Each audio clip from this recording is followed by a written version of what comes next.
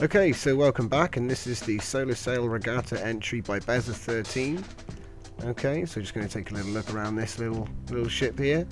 Uh, again, another unique entry for the sail design. He's uh, decided to go with uh, crystal and glass, which is interesting.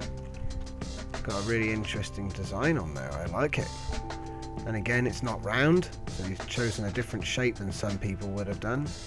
Um, and yeah, he's gone with the shields on there. Looks like he's got room to dock some kind of little uh, escape pod or something like that. He's gone with exposed power. I kind of like this actually, having the uh, having the reactors exposed on the outside with a bit of water. That looks cool. Like I say, you can you can really see all the reactors in there, which is quite nice. I'm not really sure what that is. I think it, it doesn't look like a turret. It looks like shields is it some kind of... Oh no, wait, there's some turrets on it. It must be like a, a runabout, it must be. No, no, looking in there, it's a turret. It's got a red light, red red thing on it, so... Oh, okay, so anyway, he's got turrets on there. Is there room for one underneath? No.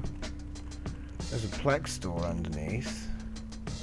Okay, let's come and check out the inside. So in we go. And I'll just take a look at the stats here real quick. So, 434 mass, 617 thrust, which is good. Uh, 73, 43, 37.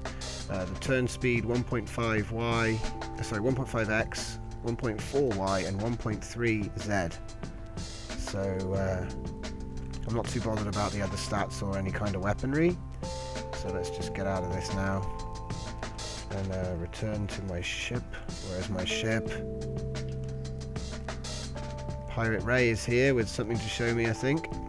Okay, so thanks to Bezzer13 for taking the time to come along and wait to be seen, because uh, there is a bit of a queue sometimes. And uh, yeah, awesome ship. Can't wait to see it in the regatta.